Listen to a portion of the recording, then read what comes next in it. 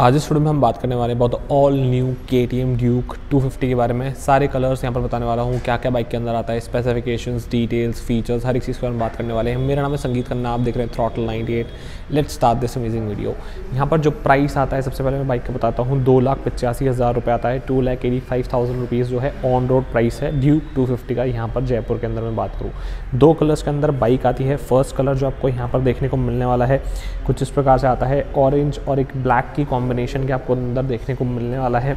यहाँ पर जो है ग्लॉस फिनिश आपको बाइक के अंदर देखने को मिलती है, साथ में ब्लैक अलॉय व्हील्स देखने को मिलते हैं। यहाँ पर जो फ्यूल टैंक है, ये आपको जो है मैट टेक्सचर के अंदर देखने को मिलने वाला है यहाँ पर।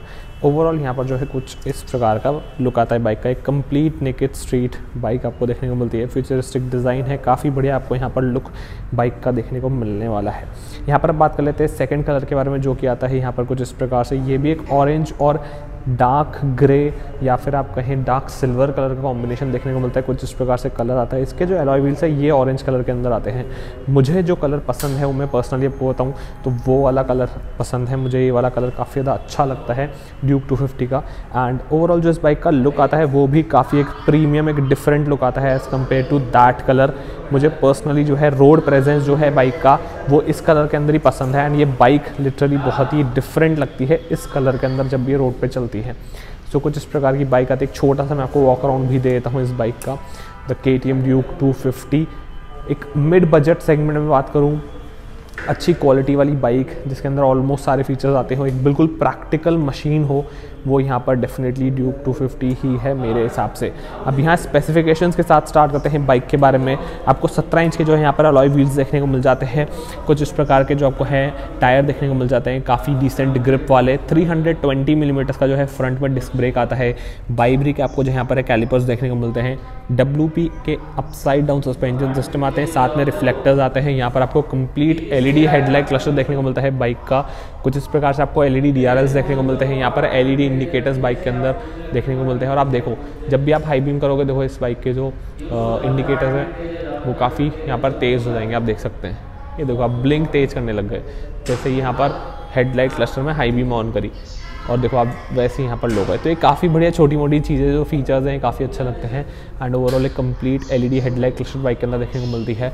यहाँ पर जो है फ्यूल टैंक 13.4 लीटर्स का आता है। प्रॉपर यहाँ पर मेटल फिनिश वाला फ्यूल टैंक है। तो जो क्वालिटी है वो काफ़ी डिसेंट आपको बाइक की देखने को मिलती है। काफ़ी वाइड हैंडल बार्स यहाँ पर बाइक के अंदर आते हैं। एट द लेफ़्ट कहता high beam low beam indicator horn और पास बटन राइट साइड में आपको किल स्विच और इग्निशन स्विच देखने को मिलता है। सेंटर में आपको कुछ इस प्रकार से एक डिसेंट इंस्ट्रूमेंट क्लस्टर देखने को मिलता है। ओल्ड डिज़ाइन वाले ये, मैं उम्मीद करूँगा कि यार, इस बार तो के ये वाला डिज़ाइन चेंज कर ही दे बिकॉज़ बहुत टाइम से ये वाला डिज़ाइन हम देखते आ रहे हैं। ओवरऑल सीट्स यहाँ पर आपको स्प्लिट सेक्शन में देखने को मिलती है। काफ़ी डिसेंट एक कंफर्ट देखने को मिलता है। राइडर का पिलियन कंफर्ट ठीक है बट स्पेसिंग थोड़ी सी और बेटर की जा सकती है यहाँ पर। ओवरऑल कुशनिंग काफ़ी डिसेंट है। इस बाइक की जो सीट्स है सिटी के हिसाब से ठीक है बट अगर आप यहाँ पर हाईवे राइडिंग कर रहे हो, एक लॉन्ग राइड कर रहे हो तो मेरे हिसाब से आप यहाँ पर एक जेल सीट ज़रूर लगा लेना। इसके ऊपर तो जो आपका कंफर्ट है थोड़ा ज़्यादा बेटर हो जाएगा। इस बाइक के अंदर आता है स्प्लिट ट्रलिस फ्रेम, इंजन के बारे में बात करूँ 250 सीसी कैटेगरी का इंजन आता है 248.8 सीसी का एग्जैक्टली यहाँ पर जो है सी सी एस इंजन का छः गियर आते हैं इस बाइक के अंदर। माइलेज जो है ऑलमोस्ट 30 किलोमीटर पर लीटर का बाइक दे देती है। हीटिंग इशूज़ इस बाइक के अंदर मुझे पर्सनली बिल्कुल नहीं लगते बट आप बहुत ज़्यादा गर्मी में, बहुत ज़्यादा ट्रैफ़िक में, अगर आप बम्पर टू बम्पर ट्रैफ़िक में हो तो हल्का सा ज़्यादा गर्म करता है बिकॉज़ एक performance two C C engine है, कोई नॉर्मल ढाई सी कैटेगरी वाला इंजन नहीं है, एक परफॉर्मेंस ओरिएंटेड इंजन है तो थोड़ा सा ज़्यादा गर्म करता है as compare to normal 250 CC engines performance बहुत अच्छी है स्मूथनेस बहुत अच्छी है गियर शिफ्ट बहुत बढ़िया है। यहाँ पर इंजन रिफाइनमेंट बहुत ज़्यादा है बाइक के अंदर एंड ओवरऑल एक क्वालिटी प्रोडक्ट आपको देखने को मिलता है। यहाँ पर रियर में आपको मोनोशॉक देखने को मिलता है बाइक के अंदर एंड रियर टायर जो आता है वो काफ़ी वाइड आता है ओवरऑल क्वालिटी काफ़ी डिसेंट आती है। सत्रह इंच के अलॉय व्हील्स आते हैं, यहाँ पर आपको जो है डिस्क ब्रेक देखने को मिलता है dual channel ABS with super moto वाला। पीछे की तरफ़ के की बैजिंग देखने को मिल जाती है। एलईडी टेल लाइट आते हैं एलईडी इंडिकेटर्स आते हैं। साइड एग्जॉस्ट बाइक के अंदर आपको देखने को मिल जाएगा। काफ़ी एक गुड लुकिंग साइड एग्जॉस्ट है। बेसी यहाँ पर एग्जॉस्ट और नोट यहाँ पर बाइक के अंदर देखने को मिलता है।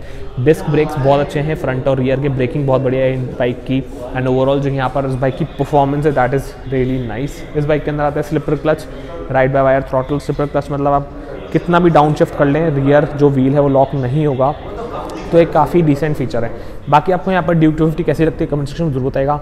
मेरे हिसाब से एक proper value for money product है। आपको यहाँ पर ड्यूक टू फिफ्टी कैसी लगती है कमेंट सेक्शन में ज़रूर बताएगा। वीडियो अच्छी लगी वीडियो को लाइक ज़रूर वीडियो को शेयर ज़रूर चैनल तक सब्सक्राइब नहीं किया, ज़रूर कर लीजिए। साथ में पहले के अंदर होना बिल्कुल भूलेगा। इंस्टाग्राम अभी तक मुझे फॉलो नहीं किया तो कर सकते हैं। यहाँ लिख के आ रहा है throttle underscore nine eight is my handle मिलते हैं आपसे वीडियो में। Thanks for make power day see you next next till then we happy night safe bye